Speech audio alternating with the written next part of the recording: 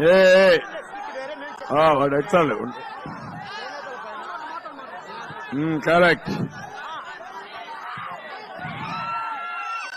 ఏ రాని రాని రాని. వేదికను అలంకరించిన పెద్దలందరికీ గట్టిగా దగ్గర పెట్టు దగ్గర పెట్టు దగ్గర పెట్టుకో. వేదికను అలంకరించిన పెద్దలందరికీ ఇక్కడ విచ్చేసిన కార్యకర్తలకి నా తోటి మిత్రులకి నా స్నేహితులకి నా సన్నిహితులకి ప్రతి ఒక్కరికి పాదాభివందనాలు. ఈ జోష్ అన్న నా ఒక్కసారి తప్పు చేసినామన్నా ఆ తప్పు ఇంకొకసారి జరనీయకుండా చూడండి అన్న. అన్నా నేను అనంతపురంలో మిస్ అయినానన్నా. నా సింగనమల నియోజకవర్గం. అక్కడ మిస్ అయ్యాను. ఎలాగైనా కలవాలి. పెద్ద ఆయన కలవాలి నా సమస్య చెప్పాలి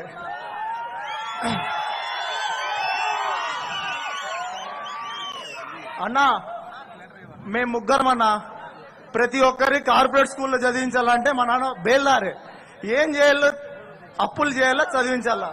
కాకపోతే ఎలాగైనా పిల్లలు కష్టపడకూడదు. ఒకని దగ్గర చాచి అడిగి తినకూడదు. వాడు స్వయం కృషితో బతకాలని చెప్పి లక్షలు లక్షలు పెట్టి చైతన్యాలు అక్కడ ఇక్కడ చదివించాడన్న. నా కాకపోతే నా తమ్ముడు ఐదో క్లాస్ ఎగ్జామ్ రాసి బెస్ట్ అవ్వాలి కింద సీట్ సంపాదించినాడు సార్. ఈయన వస్తానే నా తమ్ముడికి సీట్ లేకుండా పోయింది. లక్షల రూపాయలు. నా పదహైదు వేల రూపాయలు ఏం చేస్తామన్నా పదహైదు వేల రూపాయలు చేస్తే ఏం చేస్తాం? పదహైదు రూపాయలు పదే అమ్మఒడి నాయన బుడ్డి. సందకాడైతేనే తాగాల్సిందే. ఎక్కడన్నా? సామాన్యులు బతుకుతామన్నా మనము. సామాన్యులు బతకలేం. అన్నా ఇప్పటికైనా చెప్తానా నా ఇప్పటికైనా చెప్తానా దయచేసి. అన్నా కొంచెం మనము చదువుకున్నామన్నా. నా ఆల్మోస్ట్ యూత్ అంతా చదువుకునే ఉంటారు. నా బట్ దయచేసి చెప్తాను మంచి చెడు గ్రహించే శక్తి మనకుంది. కాబట్టి ప్రతి ఒక్కరూ గమనించి అన్న మూడేళ్ళు అయిపోయింది. ఇంకేం లేదు ఇంకా ఉండేది రెండేళ్ళే చూసేస్తాం. ఇక్కడి వరకు భరించాం. ఇక్కడ రెండేళ్ళు అయిపోతాయి. తర్వాత చూపిస్తాం మనము. ఏముందో అప్పుడు చూపిస్తాం. బట్ కాకపోతే ఈ అవకాశం పెద్దలందరికీ నమస్కారం చేస్తున్నా. ఇప్పుడు తమ్ముడు మాట చెప్పాడు. సాయి కుమార్ ఒక మాట చెప్పాడు. నేనేం చేశానంటే బెస్ట్ అవైలబుల్ స్కూల్స్లో పేద పిల్లల్ని చదివించే బాధ్యత ప్రభుత్వం తీసుకున్నాం మనమే డబ్బులు పెట్టి. ఇప్పుడు అది తీసేశాడు. ఇప్పుడు మంచి స్కూల్స్ అన్ని పనికిరాని స్కూల్స్గా తయారు చేశాడు. తమ్ముడు ఒక మాట అన్నాడు. నేను కూడా ఎప్పుడు ఇదే మాట చెప్తా ఉంటాను. తల్లిదండ్రులు ఎంత ఆస్తి ఇచ్చారనేది ముఖ్యం కాదు. ఎంత బాగా చదివిచ్చారనేది చాలా ముఖ్యం. కష్టాల్లో ఉన్నా బాగా చదివిస్తే ప్రయోజకులైతే ఉద్యోగాలు చేసి దానికి పదింతలు తల్లిదండ్రులు ఆశించిన దానికంటే ఎక్కువ సంపాదిస్తారు. అదే తమ్ముడు ఆవేదన. విదేశ విద్య పోయింది. బెస్ట్ అవైలబుల్ స్కూల్స్ పోయినాయి. ఎక్కడన్నా బాగా చదివించాలంటే స్కార్ నేను నిరుద్యోగ భృతిచ్చా అది పోయింది. ఈ రోజు యువతంతా కూడా చాలా బాధల్లో ఉన్నారు. ఇంకొక మాట కూడా చెప్పారు. తమ్ముళ్ళు మంచి చెడులు విశ్లేషణ చేసే శక్తి అందరికంటే యువతకే ఎక్కువ ఉంది. ఇంకా మీరు అందరికంటే ఎక్కువ రోజులు బతుకుతారు కూడా. పెద్దవాళ్ళు తక్కువ రోజులు బతుకుతారంటే అరవై డెబ్బై ఏళ్ళుంటే ఇరవై ముప్పై ఏళ్ళు బతుకుతారు. మీరు ఇరవై ముప్పై ఏళ్ళుంటే నలభై యాభై అరవై ఏళ్ళు మీరు బతకాలి. అంటే మీ భవిష్యత్తును అంధకారం చేస్తున్నాడు తమ్ముళ్ళు. అది మీరు ఆలోచించాలి. అందుకనే మీరు గట్టిగా ఉండి పోరాడి ఈ రాష్ట్రాన్ని బాగు చేసే బాధ్యత మీరు తీసుకోండి.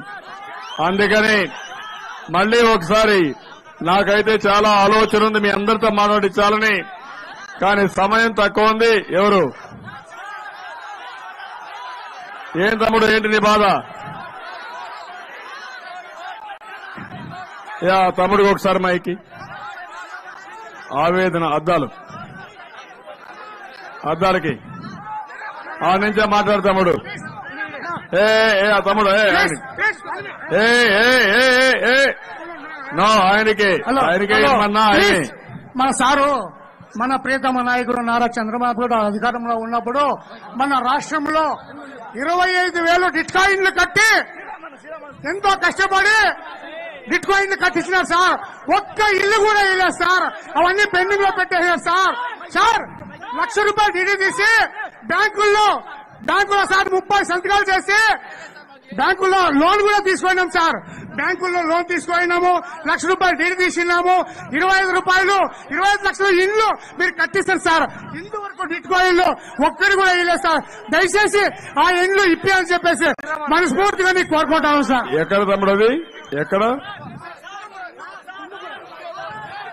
హిందూపూర్లో తమ్ముడు చెప్పి టిట్కో హౌస్లు కట్టాం.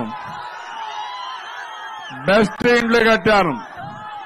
ఇల్లు అనేది ఒక ఆస్తిగా ఉండాలని దాన్ని కూడా చాలా వరకు బెస్ట్ కంపెనీలు పెట్టి బెస్ట్ డిజైన్ తయారు చేసి బ్రహ్మాండమైన ఇండ్లు మధ్య తరగతి ఎవరైతే గేటెడ్ కమ్యూనిటీస్ ఉంటాయో అలాంటి ఇన్ఫ్రాస్ట్రక్చర్ తయారు చేసి కట్టాను.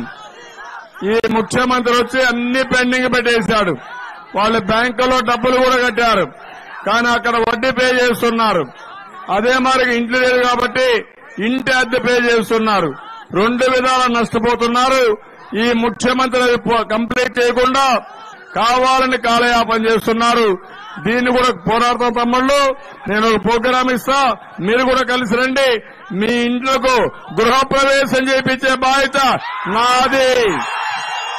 చేపిస్తా. థ్యాంక్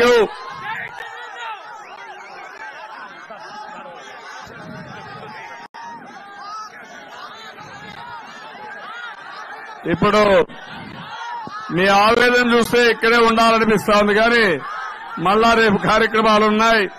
దయచేసి అందరూ అనుమతి ఇవ్వాల్సిందిగా మరొకసారి కోరుకుంటూ మళ్ళీ మళ్ళీ వస్తా. నేను అన్ని విధాలు అండగా ఉంటానని మరొక్కసారి అందరికి హామీ ఇస్తూ అందరికి నమస్కారాలు. జై హింద్ జై తెలుగుదేశం జై జన్మభూమి.